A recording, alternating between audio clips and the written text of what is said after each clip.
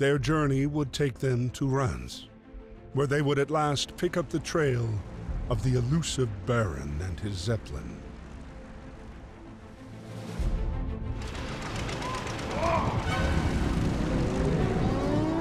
We're making progress.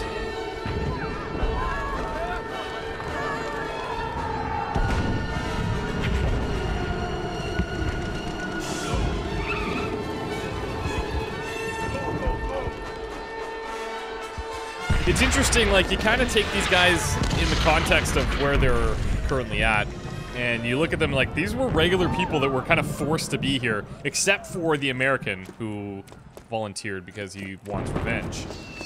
Um. Oh. Okay. No!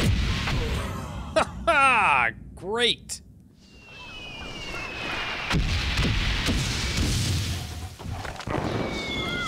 Moving. Holy shit.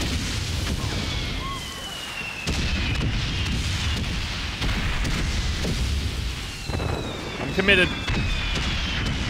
Ooh!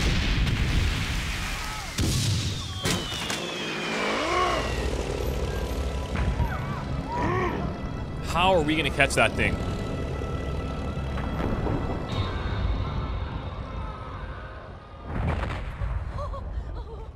Oh, whoa. Okay. So he's taking care of that. Let's go through our facts. So Reims Cathedral, the city of Reims, suffered during the war, September 19, or September 19th, 1914. As the Germans retreated from the city, they set fire to the cathedral. Then, as the city was so close to the conflict zone, it was bombarded by zeppelins and cannon fire. During the bombardments, the statue of Joan of Arc in front of the cathedral lost a hand before it was dismantled and stored in the catacombs. By the end of the war, only 1,500 inhabitants were still living in Reims. The home front. With practically all able-bodied men mobilized at the front, women, children, and the elderly were employed to factories to ensure weapons production. Women took on traditional male jobs, some even held positions of responsibility. This new role changed their status in society, and in the wake of the war, women over 30 years old were given the vote. The Women's Institute held its first meeting in 1915 with the aim of encouraging women to become more involved in food production during the war, and movement flourished. And the movement flourished. That's good. Who's she looking for? Oh, these are just all of their people.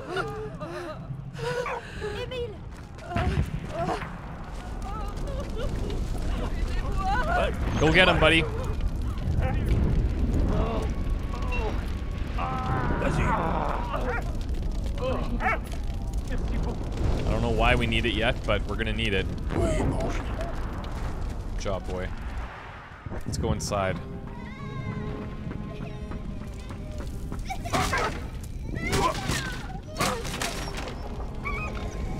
Come on, it's okay.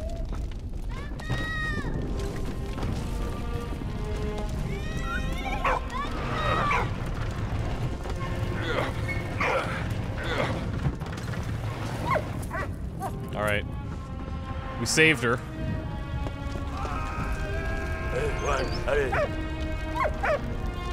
Yeah, I don't think you can get over there, pal. Grab that thing. Okay, we have to go up.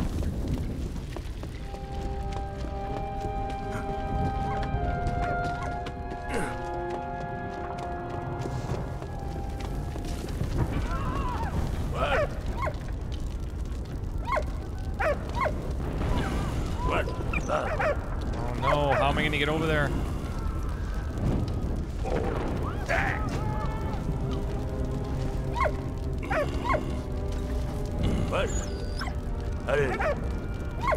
This is not good. I don't know how I'm gonna save this guy.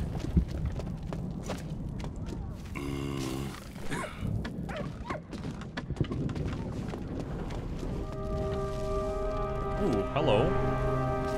Early gas mask.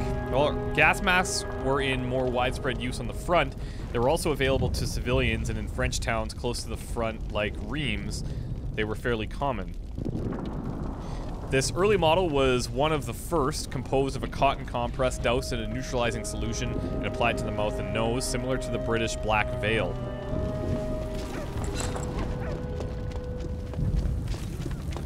Let's got to be something to do with getting up top there.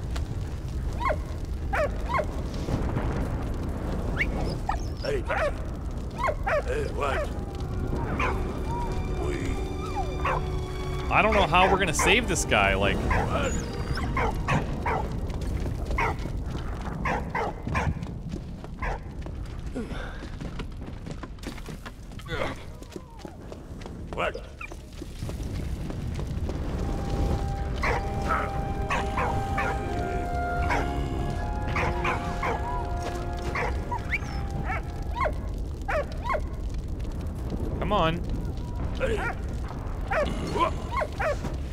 Strange. Okay, we're gonna have to come back.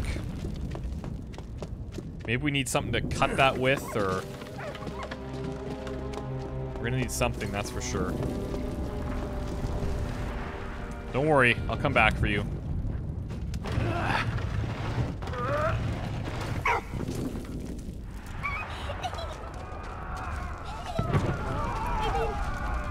Merci beaucoup.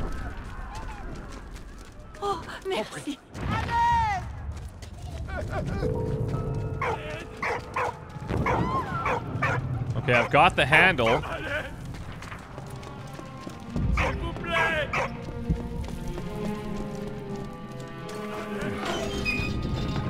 Where's that going?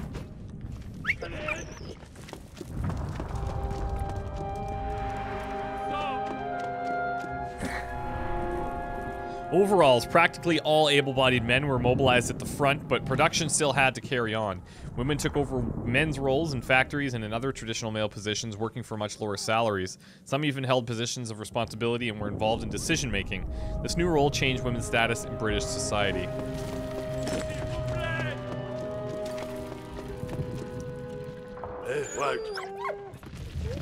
Okay, you stay there.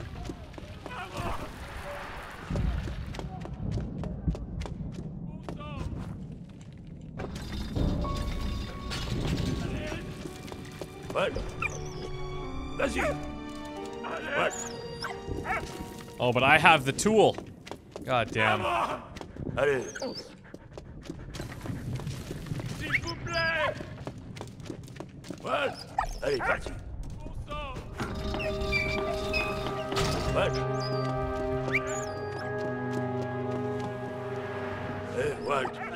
me give that to you.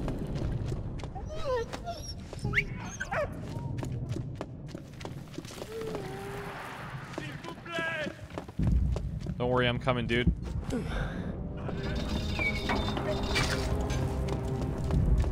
What? What?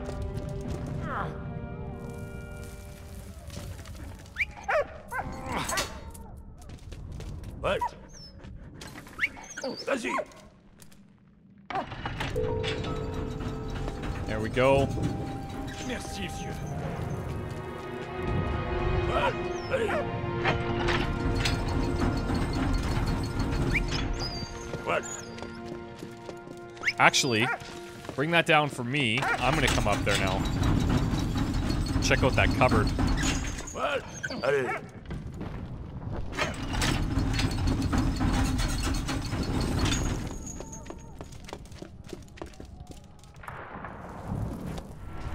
What is that thing? Safety razor. The most the safety razor was an early 20th century invention and shaved more safely than barber's blades. In 1917, safety razors were standard issue in US soldiers' kit because it had been noticed that gas masks provided more effective protection to shaved faces. Makes sense.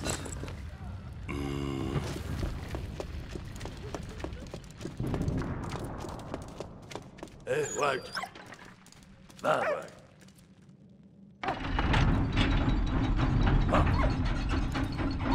You're not gonna make it over there, are you? What? All right, little buddy. Head on over. I'll bring you down.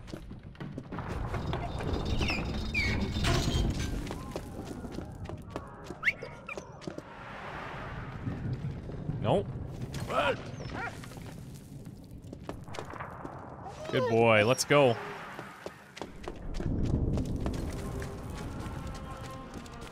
early we. What? Can I help push this thing? What?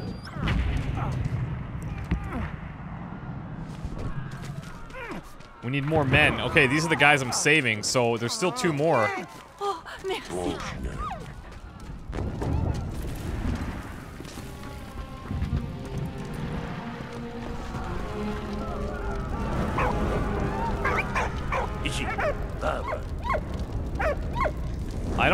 How I can save this guy.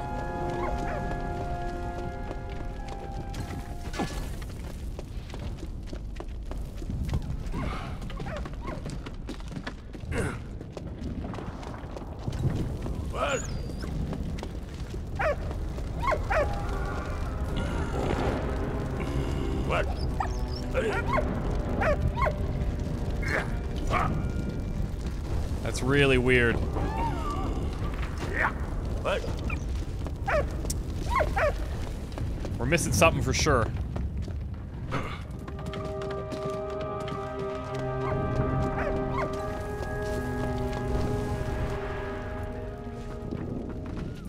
It's probably going to be super obvious once we find it.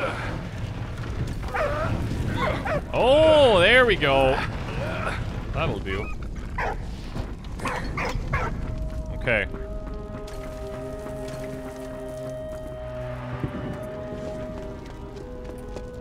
Now I'll cut the the rope or whatever that's holding it.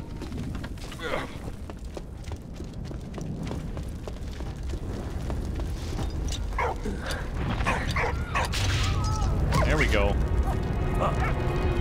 Go grab whatever that is. Be careful. War Godmother Certificate. To improve morale on the front, an association was created in France in early 1915 to provide succor and support from behind the lines for soldiers without close families. The War Godmother sent letters and parcels forming close relations relations with their godchildren away from the front. That's cool. So they were just doing it just to help, just to make people feel better. Weren't related, nothing. Kind of like a anonymous pen pal, but pretty important. Not that pen pals aren't important. Merci, vieux. Oh no! Oh. Seriously? God damn it. Oh, do we have to do all of those again? Tell me that's not true. Okay, from here, for sure.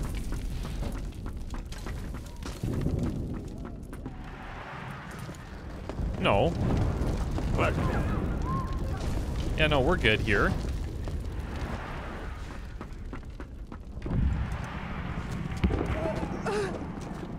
Oh, merci. Oui. Trompé. Let's do this.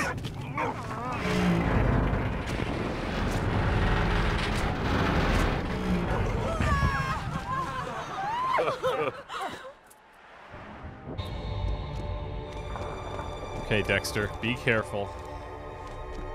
Voilà. What is that? Active Service Paybook, a paybook belonging to a British soldier. It also contained practical details such as a last will and testament form, as well as the names and addresses of close relatives to, to contact in the event of death. The book also served as a regulations guide to good conduct, advising men in this new experience you may find temptations both in wine and women. You must entirely resist both. Got to keep them focused on one thing.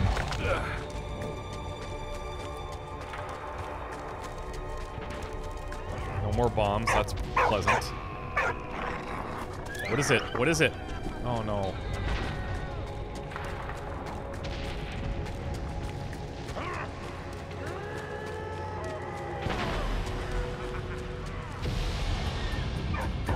What do we have happening here? Okay. Whoa!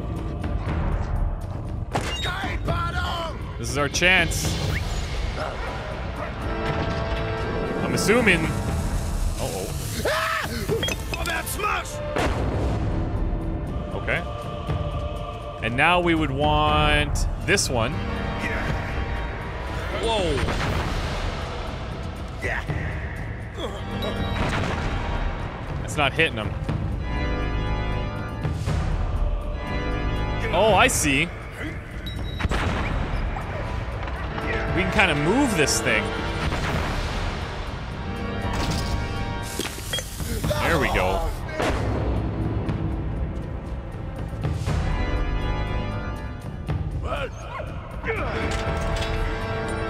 Here comes.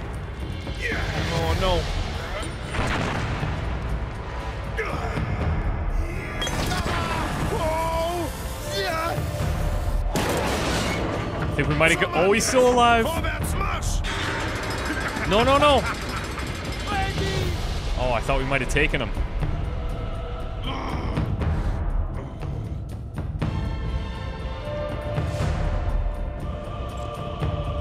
Uh, those some floating pliers? Can we grab those or no?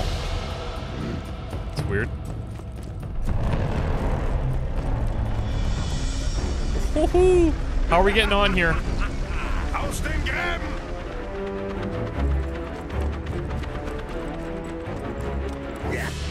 I'm actually not sure.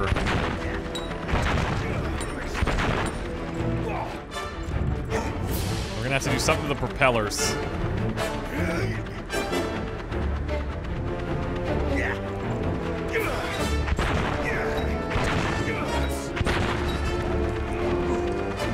Oh, we can pick them up. Beautiful.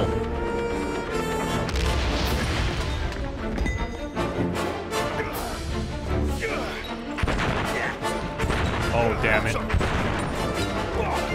Oh, good. That one didn't go. I need to get it in the back of that cockpit, pretty much. Oh, that's bad.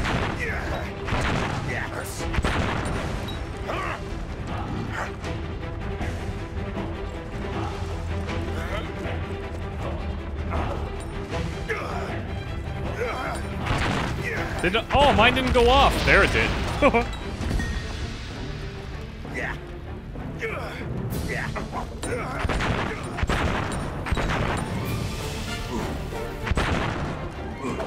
Damn it.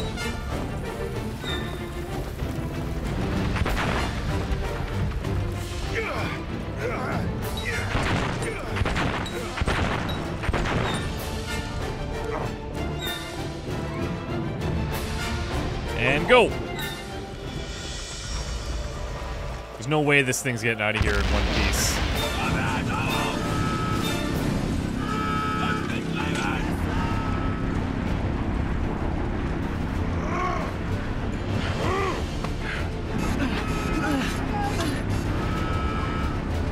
Oh man. We want th that to go down, but we want Karl to make it. She's got to follow and save him.